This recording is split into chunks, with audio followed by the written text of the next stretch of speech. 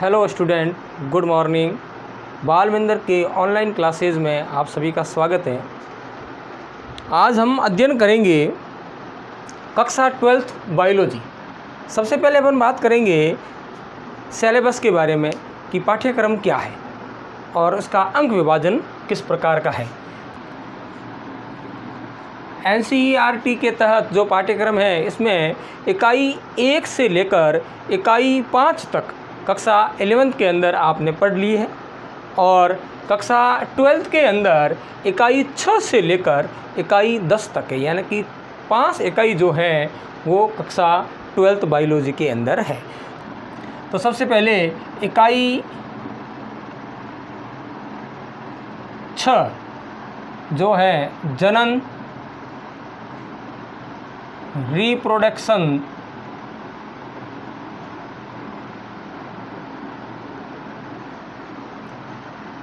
इस इकाई के तहत चार अध्याय आते हैं। ये इकाई जो है, वो 11 अंक की है और इसके अंदर चार अध्याय आते हैं। तो अध्याय एक, जीवों में जनन।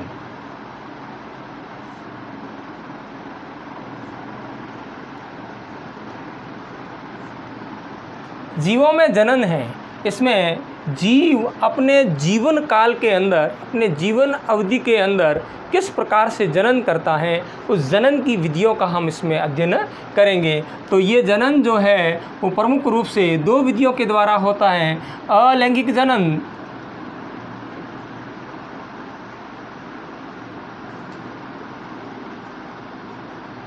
और लैंगिक जनन।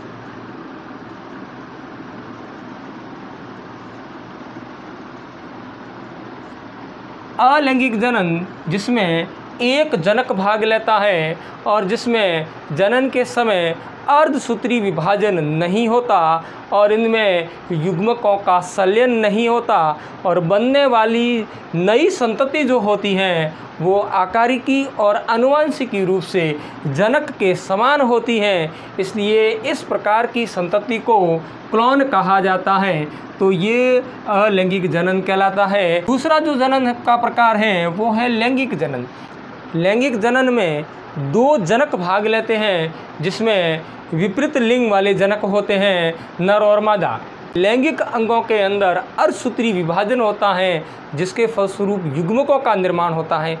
फिर युग्मकों में संलयन होता है, जिससे द्विगुणित अवस्था युग्मनज बनती है और युग्मनज से नई संतति का निर्माण होता है। तो इस प्रकार का जनन जो होता है, वो लैंगिक जनन कहलाता है।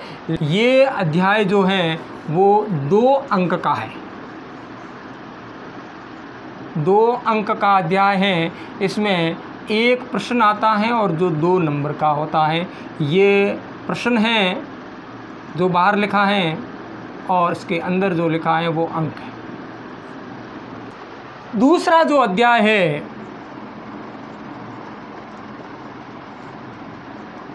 पुष्पी पादपों में लैंगिक जनन।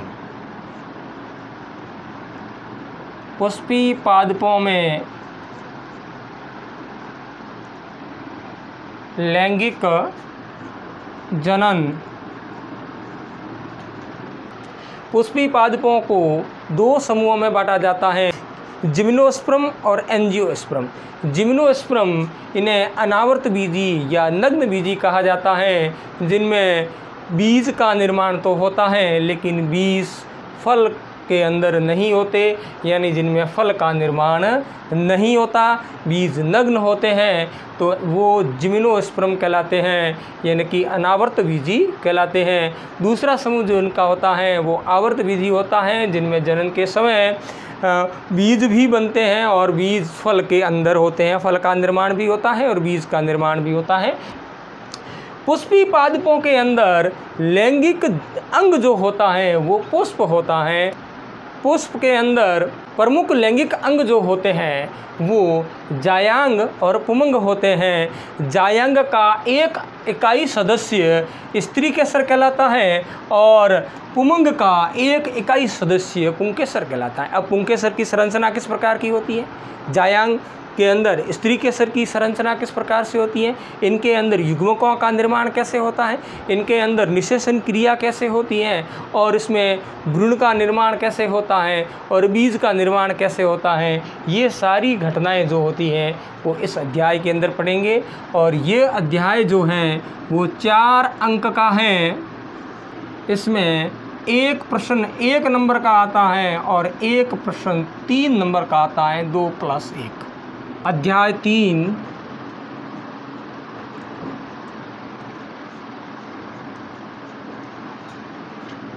मानव जनन।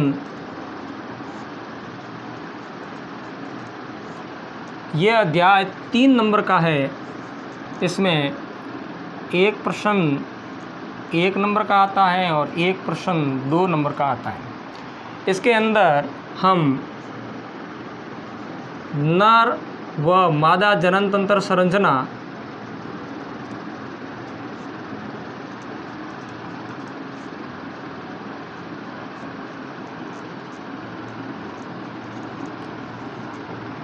नर जनन तंत्र और मादा जनन तंत्र की संरचना का अध्ययन करेंगे। उसके बाद में मानव में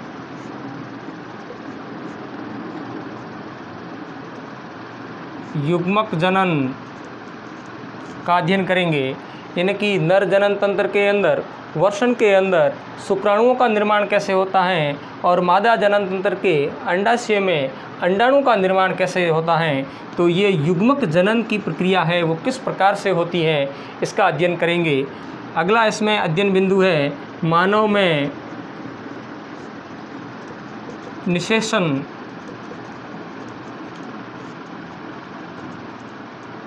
फर्टिलाइजेशन यानी कि युग्मक निर्माण के बाद बने हुए युग्मकों में संलयन कैसे होता है? निषेचन क्रिया किस प्रकार से होती है? तो इस क्रिया का अध्ययन हमें इसमें करेंगे। अगला जो बिंदु है इसमें वो है मानव में भ्रूण परिवर्धन।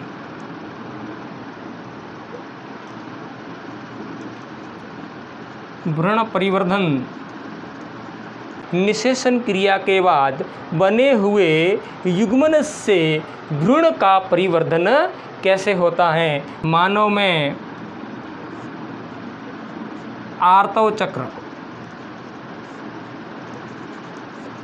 मादा जनन तंत्र के अंदर लैंगिक जनन के दौरान जो लैंगिक घटनाएँ घटती हैं, वो घटनाएँ आर्तव चक्र कहलाती हैं। इसका अध्ययन इसके अंदर करेंगे। और प्रसव व दुग्ध स्त्रावण। अगला अध्याय अध्याय चार।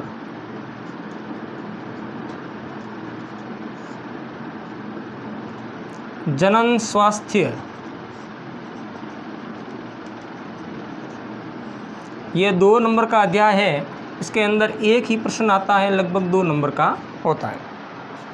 इनके अंदर हम मानव जनसंख्या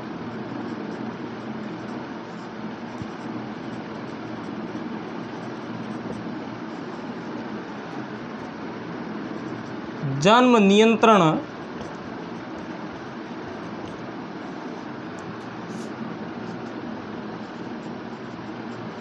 गर्भ निरोधक उपाय।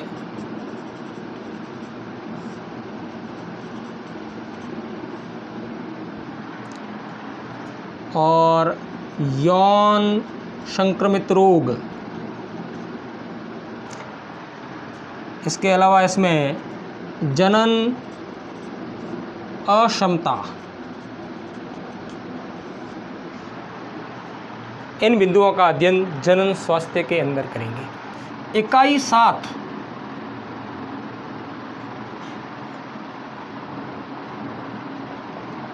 आनुवंशिकी तथा विकास।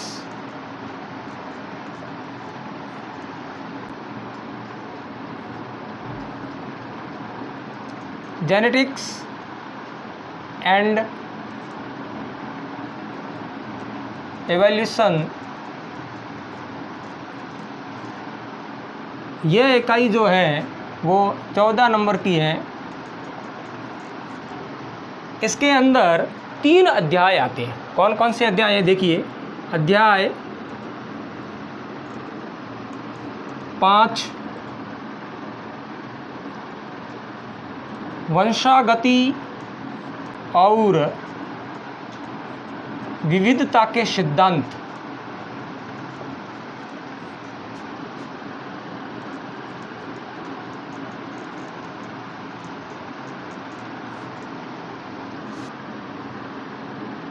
Principle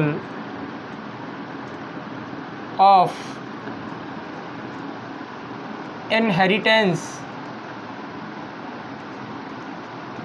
and variation.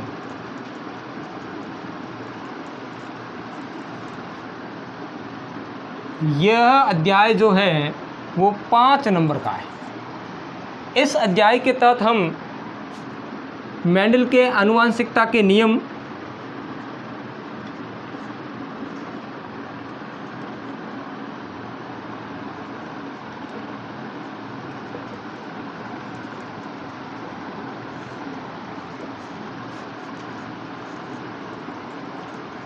इसके अंदर प्रभाविकता का नियम युग्मकों की शुद्धता का नियम, स्वतंत्र अपव्यूहन का नियम और एक संकर संकरण, डी संकर संकरण और बहु संकर संकरण, यानी कि एक जीन की वंशागति, दो जीनों की वंशागति का अध्ययन और अनेक जीनों की वंशागति का अध्ययन है, वो मेडल के अनुवांशिकता के नियम के तहत पढ़ेंगे। अगला जो है, वो है लिंग निर्धारण।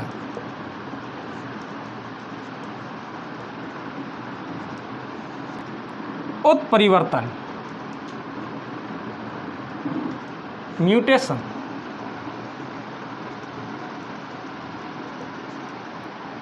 डीएनए अनुक्रमों में परिवर्तन के कारण जो विकृति उत्पन्न होती है, वो उत्परिवर्तन कहलाती है। तो ये उत्परिवर्तन कैसे होता है? डीएनए अनुक्रम जो होते हैं, वो में परिवर्तन किस प्रकार से होता है? तो इसका अध्ययन इसमें करेंगे। अगला जो है, आनुवंशिक विकार।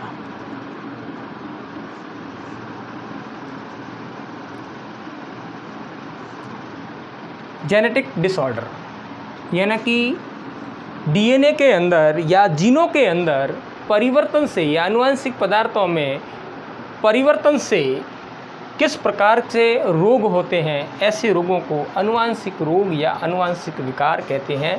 कौन कौन से ऐसे रोग होते हैं, इसका अध्ययन इसके अंदर करेंगे। तो ये इसमें अध्ययन बिंदु रहेंगे और ये अध्याय जो है वो पाँच नंबर का है। इसमें दो प्रश्न जो होते हैं वो एक नंबर के आते हैं और एक प्रश्न जो होता है, वो तीन नंबर का आता है। दो प्लस एक। इसमें अगला अध्याय अध्याय छ।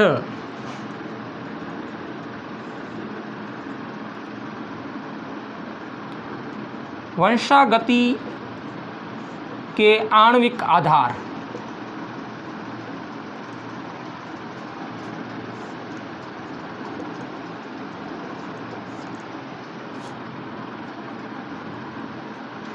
Molecular basis of inheritance. ये अध्याय जो है, वो छः नंबर का है। इसमें दो प्रश्न जो होते हैं, वो एक नंबर के आते हैं और इसमें एक प्रश्न जो होता है, वो चार नंबर का, एक एक प्लस दो प्लस एक का था इनके अंदर, इस अध्याय के अंदर हम निम्न बिंदुओं का अध्ययन करेंगे। एक अनुवांशिक पदार्थ, डीएनए का। आनुवांशिक पदार्थ,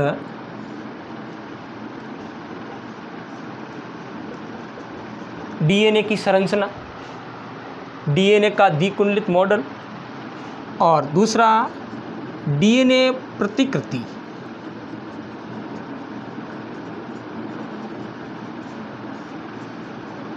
डीएनए रेप्लिकेशन यानी कि डीएनए अपने समान प्रतियों का निर्माण कैसे करता है? डीएनए से अनेक प्रतियाँ कैसे बनती हैं? तो डीएनए की प्रतिकृति किस प्रकार से होती है? तो इसका अध्ययन करेंगे। अगला बिंदु होगा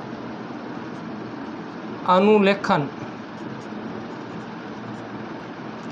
ट्रांसक्रिप्शन। डीएनए से एमआरएनए का निर्माण कैसे होता है? डीएनए से आरएनए का निर्माण जो होता है, वो अनुलेखन कहलाता है। यानी कि डीएनए की प्रति से एमआरएनए की प्रति का निर्माण होता है तो कैसे बनती है, ये क्रिया इसके अंदर अपन पड़ेगी उसके बाद में बना हुआ जो आरएनए है, उससे प्रोटीन का निर्माण होता है। इसके लिए अनुवांशिक कूट आनुवंशिक कूट का अध्ययन करेंगे, जिसे जेनेटिक कोड बोलते हैं। यानी कि एमआरएनए से प्रोटीन के निर्माण के लिए विशेष प्रकार के अनुवांशिक त्रिक बनते हैं, अनुवांशिक कोड बनते हैं, जो एक त्रिक कोड जो होता है, वो एक एमिनो अम्ल को निरूपित करता है और एमिनो अम्लों की श्रृंखला बनती है, यानी कि प्रोटीन का निर्माण होता है। तो ये अनुवांशिक कूट के बारे में इसमें अध्ययन करेंगे। उसके बाद में पढ़ेंगे अनुवादन।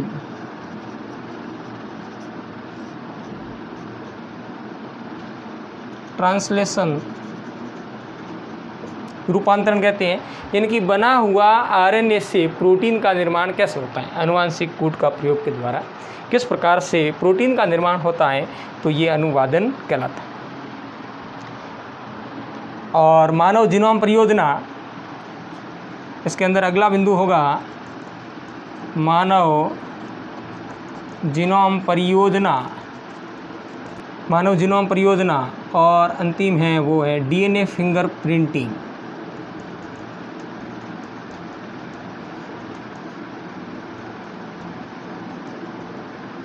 इन बिंदुओं का अध्ययन जो है, वो वंशागति के आणविक आधार जो है, इस अध्याय के तहत करेंगे, जो छः नंबर का है। इसका अंतिम अध्याय जो है, इकाई सात का, वो है विकास। अध्याय सात, विकास।